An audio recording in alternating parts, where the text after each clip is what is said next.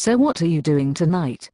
Tonight I'm going to stand in line to get a Black Ops. And what is Black Ops? It's a video game in the Call of Duty series. But we had a date tonight. Tonight I'm going to stand in line for 4 hours to be the first in line to get Black Ops. But we had a date tonight. The game is supposed to be one of the best in the series and I want to be the first to get the game tonight. Can I stand in line with you?